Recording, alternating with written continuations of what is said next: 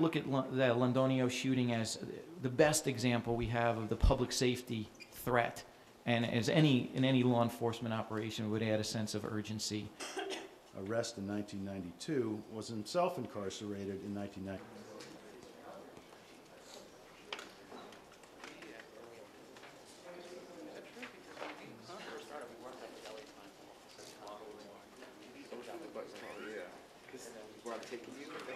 Sure. Today, an indictment was unsealed in federal court charging 32 members, including an acting boss, of one of New York's most notorious crime organizations, the Genovese family of La Cosa Nostra.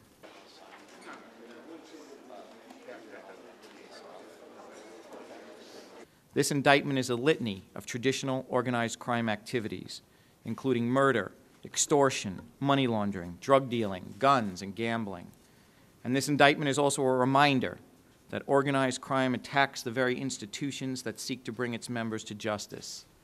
In this case, the acting boss of the Genovese crime family approved a murder while he was serving a sentence in federal prison. He sent that order through an officer of the court, his own defense lawyer. Police Department. This is an organized crime case, and as uh, typical, it relied on the Cosa Nostra. Uh, Balsamo and Larka oversaw the, uh, you might say supervised the operations of a cocaine dealer and firearms trafficker, Genovese associate Michael